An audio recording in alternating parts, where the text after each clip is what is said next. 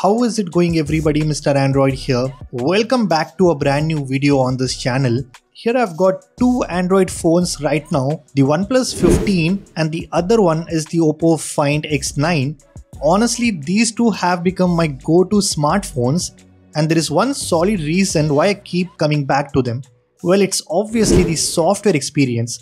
I mean, ColorOS or the OxygenOS 16 has become one of the best and most feature-packed versions of Android. Not just the smoothness and animations, but the amount of customizations and features that it offers is something that really needs to be appreciated. With that being said, today in this video, I'll be showing you how to customize your Oppo or OnePlus phone and take it to a whole new level.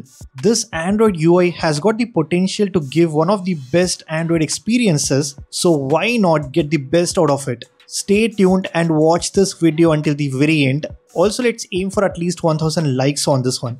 With that said, drop a like, leave a comment and let's get started. Alright guys, first things first, all the customizations and features that I'm about to show you will not only work on the Oppo or OnePlus phones, but even if you've got a Realme device running the latest Realme UI 7, then you will able to get all the features too. Now starting things with the always on display, I usually prefer to keep the full screen AOD on my phone since it does look pretty clean and seamless as it allows you to view your lock screen wallpaper alongside other key information on your always on display and it also very seamlessly blends with your lock screen as well. I don't think it comes enabled by default on your phone so in order to toggle this on just head over to your phone settings then to home screen and lock screen swipe down go into the always on display here just make sure you have set it to full screen now coming to the lock screen, at first it's gonna look very simple and basic, but trust me there are ton of options you get to make it look absolutely stunning. Now unfortunately there is no shortcut to go directly into the customization screen, so you need to unlock your phone first, go into settings, then to home screen and lock screen style.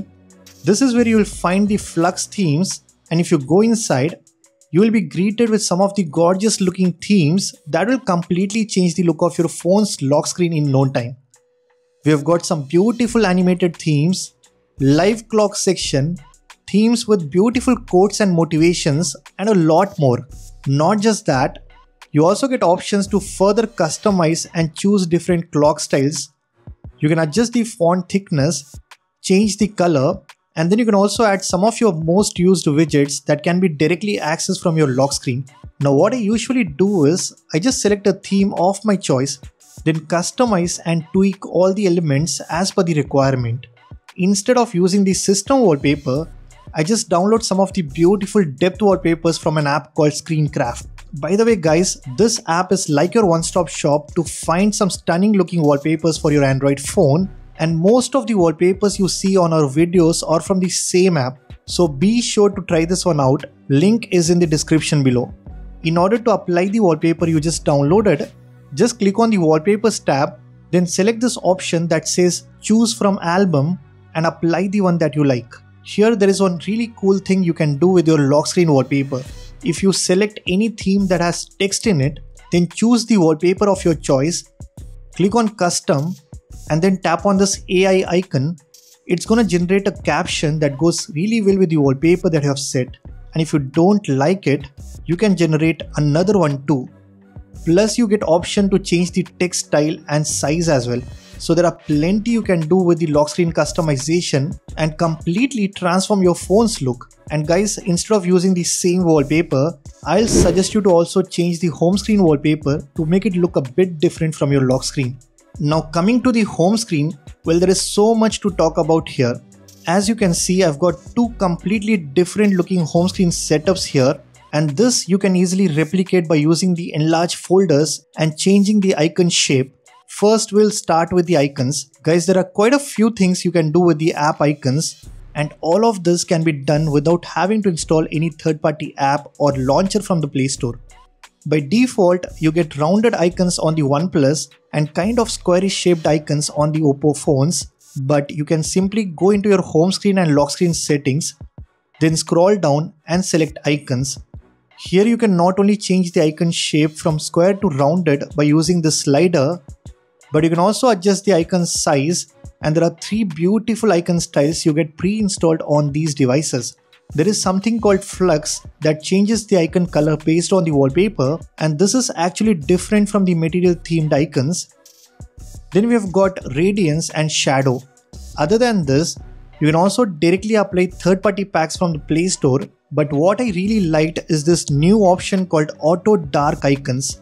Once you toggle this on, now whenever you apply a dark theme on your phone, it automatically gets applied to the app icons too and you will have dark icons that are so beautiful to look at. This is something which is not present on any other Android UI. Now the best part is all the icons are now scalable which means you can just long press on any of the app icons and completely change the shape however you want to. You can also add shortcuts related to that specific app icon and this way you can create some beautiful home screen setups like this. You can play around with the icon size and make your home screen stand out. With the Android 16, you can not only enlarge the folders, but if you long press on it, you get the option to change the layout as well. I usually prefer to keep it like this where I've got 4 apps in single folder but again you can tweak and change the layout however you like and make your home screen setups look amazing. On top of all this, OxygenOS 16 also comes with a beautiful set of widgets that you can apply and I'll recommend you to start using the stock widgets on your home screen I think it kind of completes the entire setup and gives it a very unique look. Next, if I swipe down, we get two different styles for the app drawer. One is the standard and the other is called categories. You can just swipe right to get access to the categories section or if you just tap on the three dot button and go into settings, just remove the app suggestions toggle here and then if you click on this default view and change it to categories, now whenever you access the app drawer, it will open in the categories layout like this. So by default, you will get the categories at first. Coming to the control center, you can just click on this pencil icon and reposition the tiles and sliders however you want to. You can also add two additional big tiles in the top portion for quicker access. So there are ton of customizations available everywhere throughout the Oxygen OS or the ColorOS 16 and this is how you can set up and customize your OnePlus or Oppo phone without having to install any third-party app on your phone. You get all these features built right inside the Oxygen OS 16. Let me know in the comments section if you want me to make a second part where I'll show you some more unique exclusive features of Oxygen OS 16. And if you guys like this video then be sure to hit that like button, subscribe to this channel if you haven't already. I'm Mr. Android and I'll see you guys in the next one.